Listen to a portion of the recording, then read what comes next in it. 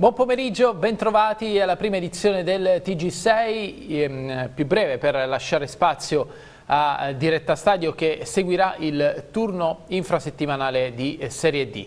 Partiamo eh, dalla politica perché bufera sui test rapidi antigenici, la capogruppo in eh, regione del Movimento 5 Stelle Sara Marcozzi lancia pesanti accuse contro la giunta eh, Marsiglio rispetto all'acquisto eh, dei test e alla scarsa efficacia di questi. Eh, gli screening a tappeto infatti potrebbero aver causato in maniera indiretta una maggiore eh, diffusione del virus proprio per la eh, sensibilità meno elevata rispetto alle raccomandazioni del Ministero della Salute. Sentiamo tutto nel servizio di Giuseppe Dintino. Gli screening di massa anti-Covid rischiano di peggiorare la situazione epidemiologica. Questa è l'accusa shock del capogruppo in regione del Movimento 5 Stelle Sara Marcozzi, che punta il dito contro la gestione Marsilio della crisi sanitaria.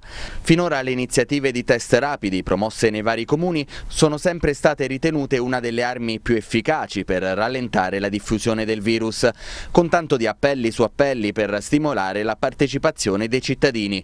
Ma ora, con un inquietante effetto boomerang, gli screening potrebbero aver generato l'effetto contrario. Abbiamo ricevuto una segnalazione direttamente dai medici volontari che stanno effettuando questa campagna di screening con i test rapidi, quindi non con il tampone molecolare, che ci hanno segnalato un tasso di positivi bassissimo.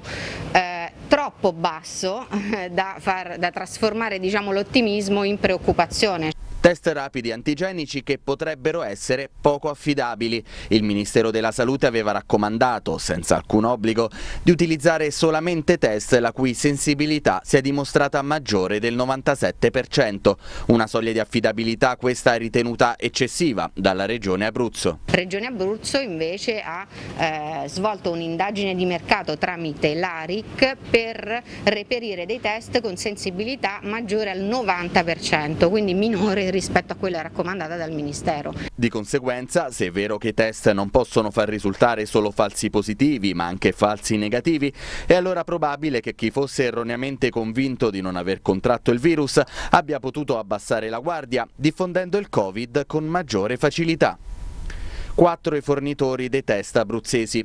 Al momento non è chiaro quanto la Regione abbia effettivamente speso di quel milione di euro stanziato nella variazione di bilancio per l'acquisto dei test. Sono state ripartite insomma, questo milione di euro tra i quattro fornitori, di tre fornitori eh, compare la cifra esatta del contratto sottoscritto sul bilancio, su Proxima SRL c'è una cifra diversa per cui non sappiamo se sia stato impegnato tutto il milione o soltanto intorno a 600.000 euro. La romana Proxima SRL, che avrebbe venduto i test al prezzo più alto, risulterebbe avere come amministratore unico l'imprenditore della comunicazione Michele Russo, che era stato nominato nel 2009 presidente della GTM dall'allora governo di centrodestra. E adesso una notizia che riguarda ancora l'emergenza sanitaria con il Covid Hospital di Pescara al completo eh, la struttura eh, realizzata in tempi record, lo ricorderete in primavera per far fronte all'emergenza sanitaria e dunque è praticamente al completo come aveva annunciato eh, al nostro microfono eh, proprio il eh, professor Parruti che dirige questa struttura. È in corso già da ieri il eh, trasferimento eh, di parte dei pazienti che al momento vengono portati nell'ospedale dell'Aquila. In aumento infatti i ricoveri nella struttura eh, pescarese, i posti che si liberano con le dimissioni eh, vengono eh, rapidamente occupati, tanti in queste ore gli accessi al pronto soccorso da parte di soggetti che necessitano di ricovero. Aumentano gli arrivi di persone con insufficienza eh, respiratoria, dice il direttore delle malattie infettive, eh, proprio il professor Giustino Parruti, e questo elemento conferma il peggioramento della situazione. Proseguiamo adesso eh, con la cronaca giudiziaria, è stata rinviata al 26 di febbraio l'udienza davanti al GUP del Tribunale dell'Aquila chiamato a decidere sulla richiesta di rinvio a giudizio eh, della Procura della Repubblica dell'Aquila per l'imprenditore Carlo Toto, patron dell'omonimo gruppo che controlla eh, strada dei parchi concessionario di A24 ed A25. Polemiche sulla scelta del MIT di non costituirsi parte civile. Sentiamo. Strada dei Parchi chiede nuove prove di carico con un incidente probatorio nell'ambito del procedimento penale dinanzi il Tribunale dell'Aquila a carico dell'imprenditore Carlo Toto, patron dell'omonimo gruppo che controlla Strada dei Parchi, concessionaria delle autostrade A24 ed A25. L'udienza di questa mattina davanti al GUP del Tribunale Aquilano, chiamato a decidere sulla richiesta di rinvio a giudizio della Procura della Repubblica, è stata rinviata al 26 di febbraio. Il giudice si è riservato di decidere anche sulla costituzione di parte civile dell'Associazione Italiana Familiari e Vittime della Strada, mentre non si è presentato il Ministero dei Trasporti. Per l'ANAS, che ha fatto richiesta di ammissione a parte civile, il giudice si è riservato con ordinanza. La difesa di Toto però ha contestato la richiesta di ANAS perché ci sarebbero sentenze che hanno stabilito che in questi casi l'ANAS non ha diritto alla Costituzione autonoma rispetto al Ministero. Toto è sotto inchiesta insieme ad altri tre dirigenti dello stesso gruppo e la Procura aquilana contesta loro a vario titolo i reati di attentato alla sicurezza dei trasporti e crollo di costruzioni o altri disastri dolosi, inadempienza e frode nelle pubbliche forniture. I PM si riferiscono alla sicurezza strutturale e sismica dei ponti e dei viadotti nei tratti ricadenti sul territorio aquilano, in particolare sul pericolo di crollo totale o parziale delle pile e degli impalcati di 9 dei 25 viadotti.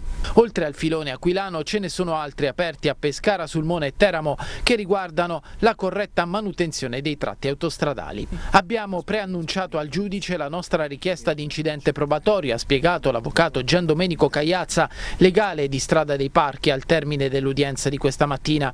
Una richiesta affinché si svolga una perizia utile a confermare non solo che non c'è carenza di manutenzione, spiega ancora Cagliazza, ma che non c'è il benché minimo rischio per la circolazione stradale su A24 e da 25. L'avvocato ha spiegato anche che ci sarebbe una perizia d'ufficio del TAR del Lazio che già conclude in questo senso che, a differenza di quella del pubblico ministero, ha fatto le prove di carico. In riferimento al fatto che siano le tre procure abruzzesi ad indagare, l'avvocato Cagliazza ha chiarito che indagano tutti sulla base di un'unica denuncia, cioè degli esposti presentati dalle associazioni ambientaliste ed in particolare dal Forum dell'Acqua Abruzzo, che definisce una vergogna la decisione del Ministero dei Trasporti di non costituirsi per ora nel procedimento in corso al Tribunale dell'Aquila. I dirigenti del Ministero, in particolare Migliorino, scrivono i rappresentanti dell'associazione, hanno puntualmente rilevato gravissime inadempienze del concessionario. Evidentemente fare chiarezza e giustizia, conclude il Forum dell'Acqua, non interessa a questa politica. I carabinieri del comando provinciale dell'Aquila hanno arrestato un giovane accusato di aver ucciso il dipendente della SM Paolo D'Amico trovato morto il 24 di novembre del 2019 nella sua casa di eh, Barisciano. Alla individuazione del presunto assassino si è giunti al termine di una lunga e complessa indagine condotta dai militari del nucleo investigativo del reparto operativo e coordinata dal procuratore capo Michele Renzo e dal PM Simonetta eh, Ciccarelli. Il fatto di sangue ha fatto scalpore, lo ricorderete, e sconvolto una eh, comunità eh, non certo abituata a episodi eh, di cronaca così gravi. Il provvedimento di custodia cautelare è stato firmato dal GIP del Tribunale dell'Aquila Gwendalina Buccella Secondo quanto si è appreso, l'uomo è ehm, custodito nel carcere di Frosinone. Gli elementi che hanno portato all'arresto ehm, sono eh, appunto oggetto eh, delle attività investigative e nascono soprattutto dalle eh, testimonianze di numerose eh, persone, parenti ed amici. Andiamo avanti ora e parliamo eh, dell'IZS. Questa mattina a Teramo cerimonia per la posa della prima pietra del nuovo polo del, eh, dell'Istituto Zooprofilattico d'Abruzzo e Molise. Eh, saranno realizzati in 12 eh, mesi 5.000 metri quadri di laboratori per un investimento complessivo di 17 milioni di euro. Sentiamo Tania Bonici Castelli. 5.000 metri quadrati di laboratori. Nasce il nuovo polo tecnico dell'Istituto Zooprofilattico dell'Abruzzo e del Molise di Teramo. Oggi è stata posta la prima pietra, un investimento importante per l'intera comunità scientifica abruzzese e internazionale. 17 milioni di euro per questo primo lotto che sarà realizzato a Collatterrato Alto a fianco del centro di formazione dell'IZS. Un sogno che diventa realtà. Cosa significa questo per l'IZS di Teramo? Significa che sono vent'anni che sogniamo di avere una nuova sede, finalmente sono arrivati i fondi, finalmente siamo riusciti a fare una progettazione esecutiva e finalmente depositiamo la prima pietra. È un, uh, un edificio di quasi 5.000 metri quadrati con un contenuto tecnologico di altissimo livello, perciò costa così tanto, ma stiamo già, eh, già stiamo appaltando il progetto esecutivo di tutto il resto dell'istituto perché abbiamo altri fondi per andare avanti con il secondo e terzo lotto. Presidente, una prima pietra importante oggi. Sì, siamo qui per mettere una prima pietra sulla costruzione di questa nuova sede dell'Istituto Zooprofilattico, un istituto che per la nostra regione, per il nostro territorio è stata un'arma decisiva nella lotta al Covid. Ancora oggi continua a svolgere fino in fondo il suo lavoro di laboratorio per i tamponi e non solo, anche nella ricerca, l'individuazione delle varianti che sono presenti sul territorio ci ha consentito di, di adottare eh, comunque azioni mirate, vedi il caso di Guardia Crele eh, che abbiamo immediatamente individuato e circoscritto eh, anche se purtroppo ormai la diffusione delle varianti è molto ampia su tutto il territorio regionale e nazionale. E mentre si inizia a costruire la nuova sede tecnica dell'IZS a Collatterrato, il Comune di Teramo pensa di riorganizzare urbanisticamente l'area della sede principale dell'istituto, in via Campo Boario. Come viene riorganizzata poi l'area? C'è eh, ovviamente un, un ragionamento aperto, la volontà è assolutamente quella di mantenere il presidio, anche rendendo rendendolo compatibile, e ancora più compatibile con l'assetto urbanistico dell'area, della zona, del quartiere. Questo intervento di oggi lo vedo più che come uno spostamento, una sostituzione, come un rafforzamento, un potenziamento del presidio dell'IZS sul territorio, l'IZS che va assolutamente valorizzato più di quanto sia stato fatto finora perché costituisce un'istituzione fondamentale per la città e non solo ovviamente per, per la città di Terma. E questa mattina sono iniziati a Pescara i lavori della strada Pendolo, presente all'apertura del cantiere il sindaco Carlo Masci. Aperto questa mattina il primo cantiere per la realizzazione della strada pendolo di Pescara, che collegherà la periferia al centro città. È un'opera attesa oramai da tanti anni e da troppi anni, abbiamo superato tutte le questioni burocratiche, tutte le questioni legate agli espropri molto complesse. E oggi partiamo con questo intervento che ovviamente è il primo ma non sarà l'ultimo perché noi adesso facciamo un intervento di circa un milione di euro che ovviamente comporterà il miglioramento della viabilità in questa zona ma anche eh, avrà caratteristiche importanti sulla sicurezza del territorio, poi proseguiremo con il pendolo 2 che andrà fino, alla Tiburtina e poi con il pendolo 3 che è quello che sarà realizzato a Via Pantini, quindi un intervento complesso, strategico che migliorerà la sicurezza e la viabilità tenendo conto anche delle componenti più deboli della mobilità, quindi i pedoni, i ciclisti, eh, il mezzo pubblico, il mezzo privato, un intervento a 360 gradi, questo intervento in particolare durerà eh, circa sei mesi, un investimento di un milione di euro, abbiamo fatto non una gara al massimo ribasso ma una gara con l'offerta economicamente più vantaggiosa. E che cosa vuol dire questo? Vuol dire che abbiamo scelto il progetto che migliorava quello iniziale. I lavori, affidati alla Tiatina Cogema SRL, hanno un valore complessivo di quasi un milione e mezzo di euro. La nuova arteria stradale sarà corredata di pista ciclabile e secondo il sindaco il nuovo tratto sarà utile anche a riqualificare zone degradate della città. Alla fine di questo intervento noi avremo strade nuove, eh, strade sicure e soprattutto strade che entreranno nel ventre molle della città, nelle zone più difficili dove c'è degrado oggi e c'è c'era degrado già negli anni passati ed elimineremo finalmente questo degrado, è quello che i cittadini aspettano da troppi anni. Adesso lo sport, calcio di Serie B in primo piano, seduta mattutina per il Pescara al Poggio degli Ulivi, primo allenamento per due volti nuovi del Delfino, i centrocampisti Andrea Tabanelli arrivato in prestito dal Frosinone e Daniele Dessena prelevato a titolo definitivo dal Brescia. Già ieri invece aveva sostenuto la sua mh, seduta in biancazzurro Nicolo Giannetti arrivato in prestito dalla Salernitana. Proprio la squadra campana allenata da Fabrizio Castori ha firmato a sorpresa l'attaccante norvegese Julian Christoffersen eh, che era in predicato di legarsi al Pescara. Invece dopo aver sostenuto le visite mediche in Abruzzo l'attaccante ha sottoscritto con la Salernitana un contratto fino al giugno del 2024. La Serie C adesso terzo risultato utile consecutivo per il Teramo che pareggia a Foggia 0-0, partita noiosa che i biancorossi hanno controllato senza mai però eh, affondare per tentare di prendere l'intera posta. Una partita che lascia in eredità l'infortunio a Domenico Mungo che eh, potrebbe tenerlo lontano dal campo per diverse settimane. Distorsione al ginocchio. Per lui si teme anche l'interessamento del legamento collaterale. Ci saranno chiaramente gli accertamenti nelle prossime ore. Andiamo a vedere le fasi salienti del match, poi ascoltiamo le eh, parole dell'allenatore Massimo Paci nel servizio di Ania Cantagalli. Finisce 0-0 il match playoff tra Foggia e Teramo, che continuano così ad andare avanti a braccetto in classifica. Davvero poche però le emozioni allo Zaccaria. Paci conferma in blocco la formazione che ha battuto il Bari nell'ultimo turno di campionato, con Pinzauti in avanti ancora a comporre il tridente con Bombagi e Costa Ferreira. Nel Foggia di Marchionni c'è invece Anelli a prendere il posto in difesa dello squalificato Germinio. Si inizia a buoni ritmi e con il Foggia che mette in mostra quanto ami le ripartenze e l'attacco alla profondità.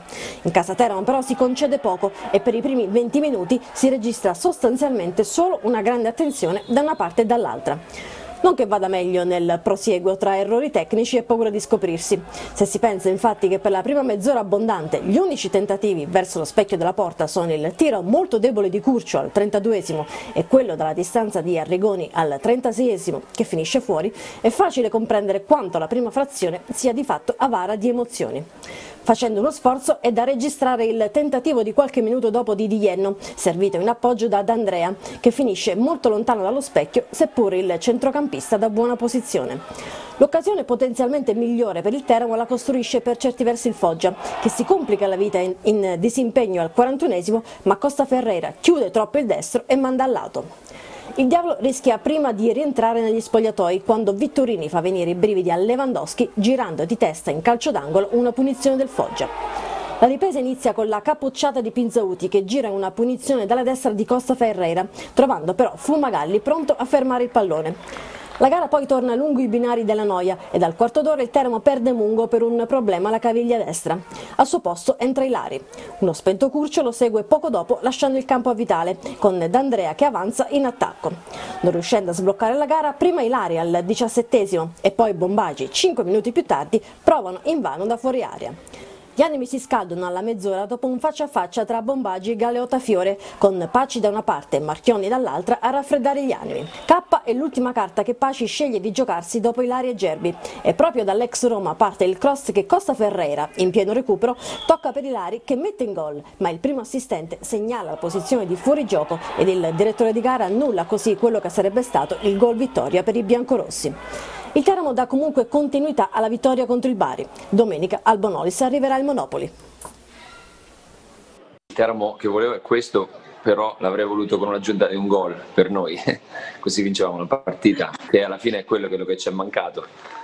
Mi spiace perché hai fatto un'analisi giusta secondo me, la partita è stata in controllo, eh, peccato che ci è mancato il guizzo che, che, ci, che ci, ci avrebbe fatto vincere la partita però accettiamo il risultato, è una squadra comunque ben organizzata, ben messa in campo, non era facile oggi, il terreno non era nelle massime condizioni, quindi accettiamo, anche se dispiace perché se, se avessimo fatto qualcosa in più secondo me potevamo portare a casa la vittoria. No, sono soddisfatto perché i ragazzi sono stati bravi a non prendere gol. La partita con la Viterbese più o meno era sullo stesso filone, però abbiamo ceduto e abbiamo preso gol. Oggi i ragazzi sono stati bravi nella fase difensiva perché abbiamo sempre tenuto il Foggia lontano dall'area di rigore, non ricordo tiri in porta da parte del Foggia. E non è facile perché comunque una squadra che ha 32 punti, la fase difensiva è stata buona, magari in fase, in, in, negli ultimi 25 metri potevamo fare, ma non qualcosa in più perché uno eravamo un po' stanchi dalla partita del Bari e due c'era un campo che non permetteva eh, grandi qualità perché loro comunque difendevano sempre a 5 e non era facile per i nostri trovare il guizzo eh, ci è mancato quello alla fine, perché poi queste partite sono in grande equilibrio e a volte una giocata del singolo, come è successo col Bari, la giocata dei bombacci ti fa vincere una partita. Però, però sono contento perché comunque dopo la, dopo la, prestazione dei Bari mantenere così alta la concentrazione non era facilissimo secondo me. Non abbiamo concesso un tiro in porta all'avversario, denota, denota grande compattezza, grande grande attenzione e concentrazione, quindi da quel punto di vista sì, dal punto di vista, de, dal punto di vista del risultato è un, è un risultato che accettiamo. Eh, ci è mancato qualcosa per vincere la partita e quindi dobbiamo rispettare il verdetto del campo, tutto qua, continuare a lavorare. Adesso domenica abbiamo una partita altrettanto importante, ricaricare subito le pile per essere pronti domenica. Il TG6 termina qui, prossimo appuntamento alle ore 19, adesso linea a diretta stadio per seguire eh, la eh, giornata, il turno infrasettimanale in Serie D, poi vi ricordo anche l'appuntamento alle 19.30 con l'Abruzzo del Pallone. Grazie ancora e buona giornata.